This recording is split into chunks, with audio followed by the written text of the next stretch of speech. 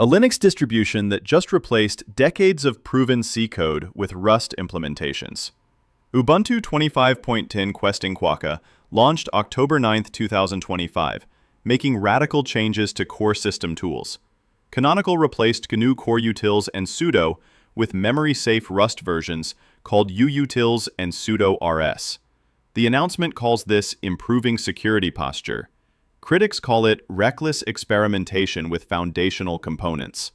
So is this modernization or unnecessary risk? Ubuntu 25.10 ships with Linux kernel 6.17, GNOME 49, and 9 months of support until July 2026. It introduces TPM-backed full disk encryption, Wayland-only sessions, and new apps like Loupe Image Viewer and Ptyxis Terminal Emulator solid improvements for hardware support and user experience. Controversy begins with sudo rs becoming the default implementation, despite being a complete Rust rewrite. Traditional sudo has powered Linux systems reliably for decades. The Rust version promises memory safety and fewer attack surfaces, but rewriting trusted tools introduces new unknowns. Even GNU maintainers question if theoretical safety gains justify replacing optimized, stable code. The core util switch follows the same logic. Ubuntu 25.10 is the first major distro adopting uutils, a Rust rewrite of commands like ls, cp, and mv. Early builds were slower, but new benchmarks show major speed gains. Still, users are effectively beta testing system foundations in production. Real-world feedback is mixed. Some report broken drivers, failed Flatpak installs, and missing NVENC support. Timeshift backups save them, but many are holding off until major issues get fixed.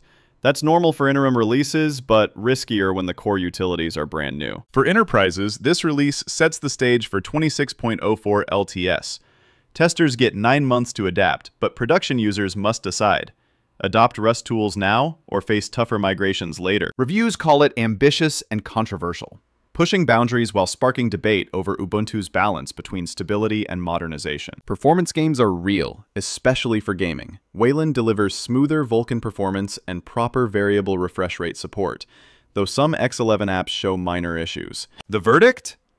Ubuntu 25.10 is bold and innovative, but demands high risk tolerance. If you value cutting-edge features and can handle breakage, it delivers.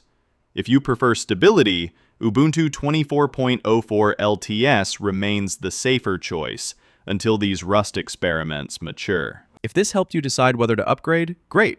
Progress sometimes feels like beta testing disguised as innovation. Hey, Mark here.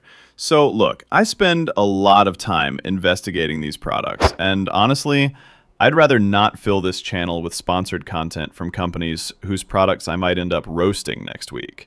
That would be awkward. If this review helped you out, saved you from wasting money, or maybe helped you find something that's actually worth buying, here are a few ways you can support what we're doing here. First up, I've put the link to this specific product down in the description. If you want to check the current price or read more reviews, click through there. And if you do buy through my link, they toss me a few pennies without charging you extra. Win-win. Second option, and this one's for all you regular Amazon shoppers, there's another link down there that just goes to Amazon's homepage. Bookmark it, use it whenever you shop. Doesn't matter if you're buying this product or just restocking on toilet paper. Using that link means a tiny portion of what you're already spending helps fund these investigations. And trust me, Jeff Bezos won't even notice it's missing. it's the easiest way to support the channel without spending extra money. Now the third option is for those of you who need help right now. Like you've got a product sitting in your cart and you're thinking, is this thing legit or am I about to waste my money? That's what our membership is for. Think of it like hiring me as your private BS investigator. For as low as 3 bucks a month, you submit products for urgent investigation, I do the deep dive and deliver a personalized review to your inbox in 24 to 72 hours depending on your tier.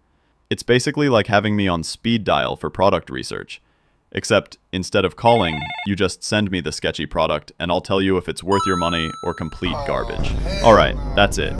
Keep questioning everything, and I'll see you in the next investigation, where we figure out what's actually worth your money and what's just expensive garbage with good marketing. Stay savage out there. Catch you next time.